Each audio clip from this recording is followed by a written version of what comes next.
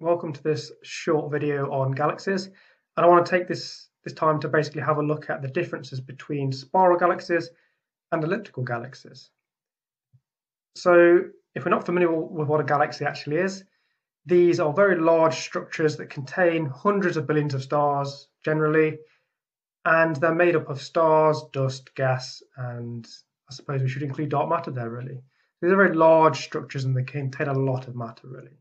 There's a variety of different galaxies that there are. Some of them are easy to spot, some of them may be not so obvious. So what are the main differences between these types of galaxies? Well, here we've got a few different types. So we've got barred spiral, normal spiral. They're basically the same, except the barred spiral has a bar in its center, as opposed to a more kind of spherical looking um, central core or bulge. You then have these irregular ones. These are formed when you have it, galaxies interacting. So these may be from galaxies that are colliding or merging, and they have very irregular shapes, hence their name. Some of them are undergoing large amounts of star formation because the gas gets compressed and it forces stars to form. And then you have the ellipticals. So the ellipticals have very little gas.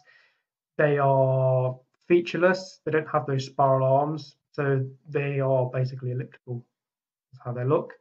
And then you have lenticular, which are in between the spirals and ellipticals. They have features that correspond to both, really. They kind of sit in between. But the ones we're interested in, just for this short video, is the spirals and the ellipticals. And what are the main differences between the two? So if we go to the galaxy tuning fork diagram, which shows the different types and classifications of galaxies, it's also quite useful for looking at the evolution as well. So on the right hand side of the tuning fork, you have your spiral galaxies. And depending if it's a normal spiral, a barred spiral, intermediate, that's where the different paths come from, the different parts of the fork.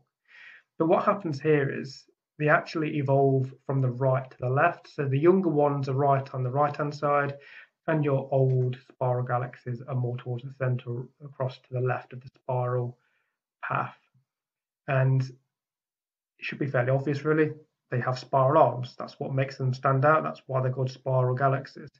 But also, as they age, these spiral arms become more tightly wound. So as they age, these spiral arms get tighter. And a few other things happen as well. So as they go from right to left on this diagram, you'll note that they actually get a bit tighter.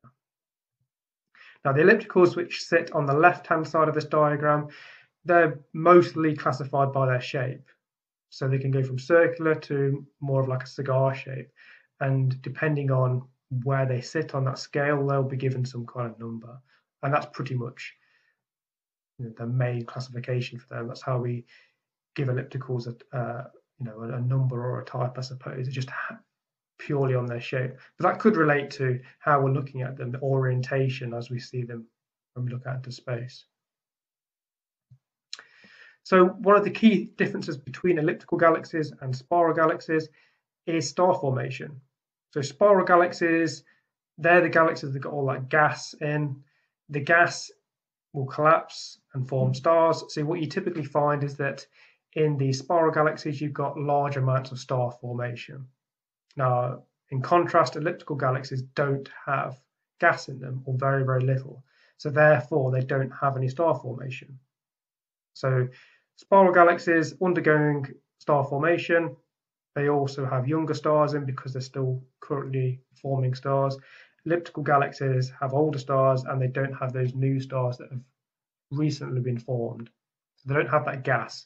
It's down to their gas content basically as to why one is forming stars and one isn't.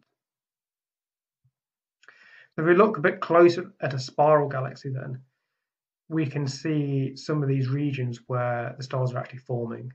So this is the Orion Nebula, which is in the, the white box. And you can see this with a you know a fairly small telescope actually yourself. And within that nebula, which is a cloud of ionized gas, you've got bright blue stars.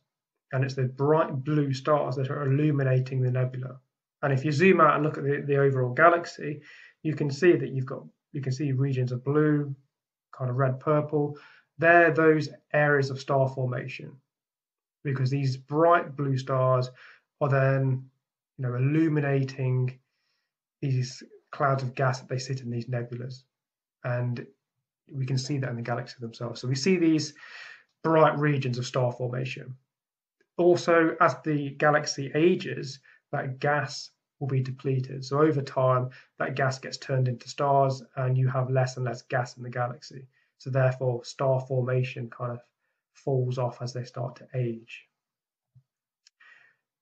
Another key aspect between the two, or property, is rotation. So spiral galaxies would typically have some kind of net rotation. They're rotating about a center, a bit like a disk. Elliptical galaxies don't necessarily show that. So there isn't always a, a net rotation there. Um, the stars are moving a little bit more randomly. So dynamically, there's differences between the two. You know, they look different, but they're also not behaving the same way. So one typically rotates in a common direction or a, a bit like a disk, and the other does not. And then we have color. So the spiral galaxies, because they have these younger blue stars, they have more of them in their galaxy. The galaxy as a whole is typically bluer. So here we've got a, a nice galaxy, you can see lots of blue in it, and we've got the Pleiades there, which is a, a cluster of very young stars. You can see they're visually blue, and we'd expect to find a lot of those in the spiral arms of a spiral galaxy because that's where the stars typically form. And if there's plenty of gas there, then we're going to get lots of stars forming. So young stars are going to be bluer, older stars are going to be redder. So we would find that a spiral galaxy is likely to be bluer than an elliptical galaxy. And obviously, in contrast, we have elliptical galaxies. They don't have those bright regions of star formation. And because they haven't had any recent star formation, occurring, there's no young stars there. So it's a collection of old population stars. So these stars are typically redder. As stars age, they, they will get, get redder. And that means that if you have a population of stars that are all doing the same thing, getting older, then the whole galaxy is going to be redder. So what we find is that as galaxies age, they move from being blue to red. not exactly blue or red, but they, they are bluer or redder than one another. So we find that elliptical galaxies are redder because they have these older stars in them, and there's no star formation to replenish the newer, the younger blue ones. And then just to mention the younger and older spiral galaxies. So there are differences between the two of those as well. So younger spiral galaxies are going to have a much more open structure to their spiral arms. They're not as tightly wound. And they also have these bright regions of star formation. So we can see we've got some nice bright regions in those spiral arms where stars are being formed because they have that higher gas content. So if they've got that higher gas content, they're going to have more stars forming. We they will be bluer than the older type ones as well, in that sense. And then your older spiral galaxies, you'll find that the spiral arms are more tightly wound and they don't have those bright regions where you can actively see the star formation. Their gas is starting to run out. So they have very little gas content, very little star formation, but they still have a little bit probably, but just not a lot. And you can see you can't see any bright regions there where you might see some actual star formation. So thank you for watching. Hope you enjoyed.